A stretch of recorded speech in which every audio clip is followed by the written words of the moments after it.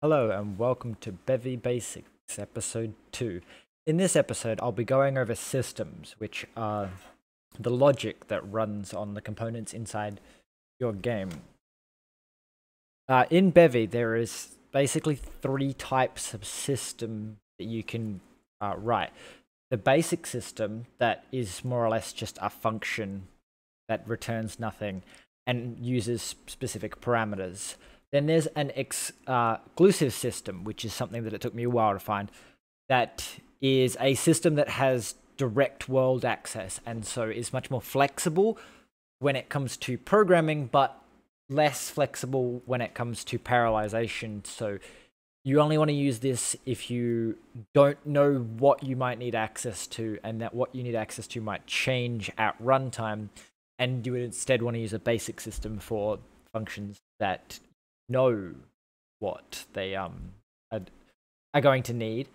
And then there are chain systems, which are not necessarily systems running back to back like you would think, but apparently larger systems created by uh, chaining together in a sequence some functions, and this results in the output of the first one getting fed into the input of the second one, but still having access to uh, resources and queries and other world access that I would assume would be allow for more parallelization because you can uh, access things in the first one that might take a while to run and then quickly hand over that information to the second one that will then access the mutable versions and edit them there. I'm not entirely sure if that works just from my uh, testing. You can access world stuff separately. Uh, so basically in Bevy, you have startup systems as a way of adding systems that only run once. You then have normal systems which will run in every frame. And then you will have uh, staged systems which will run at a specific point. Adding a system adds it by default to the uh, update stage, but you can, by doing something like this, add it to a specific stage. This applies both for the setup and the normal systems, uh, but setup systems have a different set of stages being pre-setup, setup, and post-setup. When the uh, setup stages for a regular game without you adding your own custom ones is first uh, pre-update, update, post-update, and last. As I've done here, I've got a first system that will run on the first stage and a last system that will run on the last stage. The setup system that I've got here will just print setup. The uh, basic system will print press spacebar and accesses the input via a, an input parameter.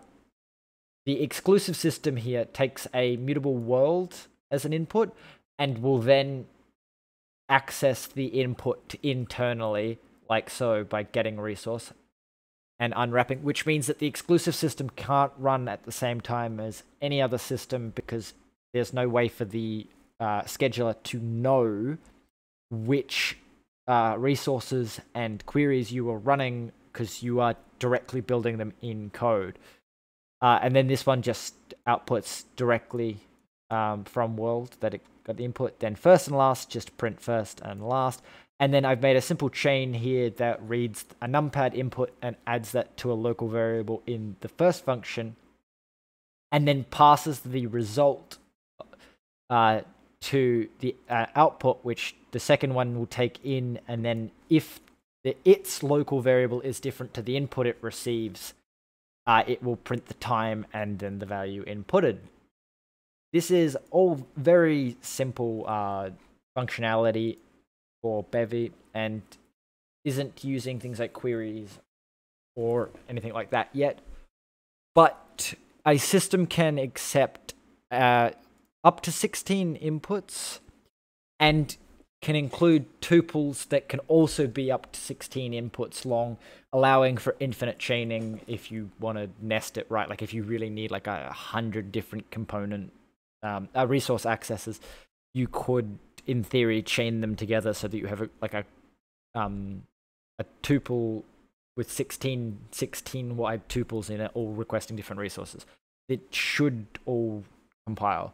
But inside a um, a system, you can uh, have as input parameters any combination of uh, uh, you can have commands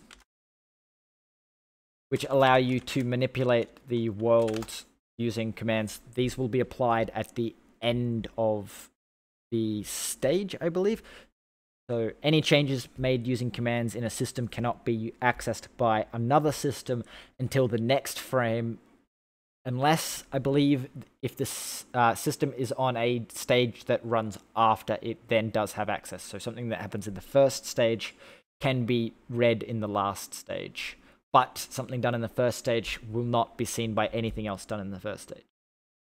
Uh, then you can also get resources, which is done by doing res and then requesting the resource. Uh,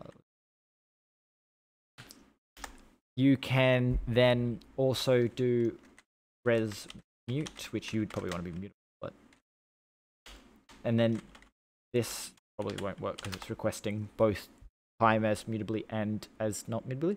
But res mute will uh, return a mutable reference to a resource.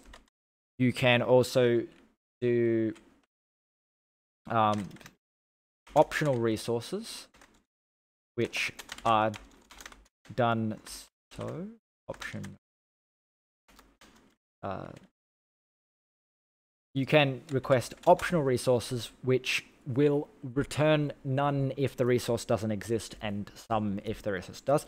This is useful for if you have a system that makes only run on a condition flagged by something else is you could insert a um, unit resource that it then checks to see if it exists and only runs its um, functionality if it does exist and then removes it or some kind of system that might run and initialize the resource if it doesn't exist but not run if it does exist or do something differently if it does exist maybe loading from a file uh, things like that might be done in a wrapped option so that you don't load the file every time. You only load the file if the resource doesn't exist.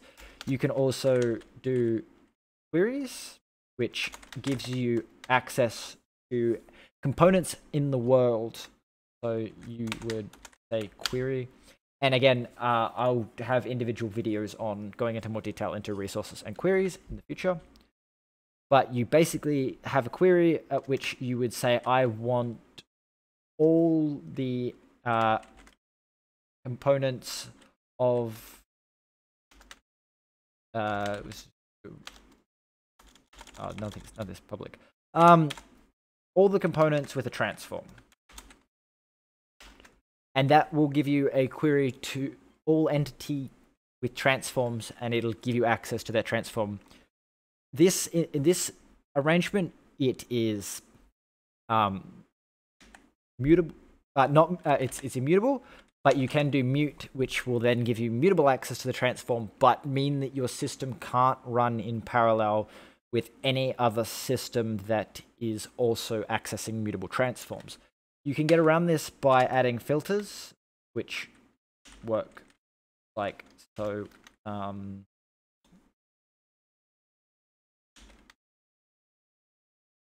UI color.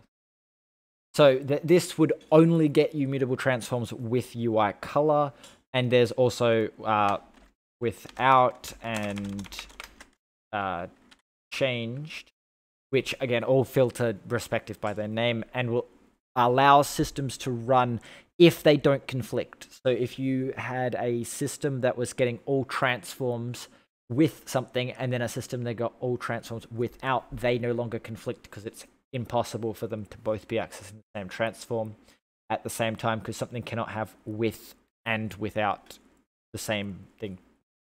Uh, what else can you get? You can get um, events, which come in the form of an event reader, and that will read like uh, all mouse button events. And you can also get an event uh, writer, which an event writer will allow you to output events from a system and that other systems will receive. There is also um, components that are oh, types that you can get that are like more niche that I haven't actually done any looking into, but there is not send, uh, not send mute, uh, entities, components, bundles, archetypes, and system check ticks, which are all low level things, except send that let you um, access more low level information about the uh, entity component system. Uh, and not send and not sync, I believe, just let you specify that basically get a version of this that will always run on the main thread. So if you had some kind of um, I/O accessing thing, I, I believe you'd have to put that non-send non-sync because it can't be sent across threads, so it must always be running the main thread. So you would use non-send non-sync. I believe that's everything for today. I'll quickly run through these systems uh, when I actually launch the game here. Uh, but do tell me if there's anything I've missed, and I'll uh, either do a updated video or a correction in the future. Uh, I'm fairly novice when it comes to Bevy. Like I have a somewhat of an understanding because I've been using it for the last year. But things like the um, exclusive system, I only somewhat recently found, and it's not exactly well documented. And chaining, I only just found out today how it works in respective to it's not just two systems that follow each other it's two systems that become one so that they can actually have input parameters that are different this i just had to quickly uh, change my code because originally it was um, using debug and i don't have the logging plugin active. But as you can see in my console getting spammed here uh, it's printing first last first last uh, and when i actually close the game it should yeah it'll end with the last because it's printing those systems. Uh, anyway, just a quick um, summary of the system that I was showing is, as you can see down here in the uh, console output, it's outputting the time and the input, which is the value that it's receiving from the previous system. And that's how you chain them together in such a way that one accesses the keyboard input, the other accesses the time. So those systems if they took longer than a fraction of a second, could be running in the background with other systems that might need time and so they wouldn't bog it down and they only need it for a second. It would be useful to generate the mesh or multiple meshes and then chain them into a function that just puts the mesh in the assets so that the assets resource can be freed mutably because it's not needed mutably until you right at the end. So that would be a good use of that chaining system if it works under the hood how I think it does. But again, any corrections would be greatly appreciated. Like, comment, subscribe, and I'll see you in the next episode.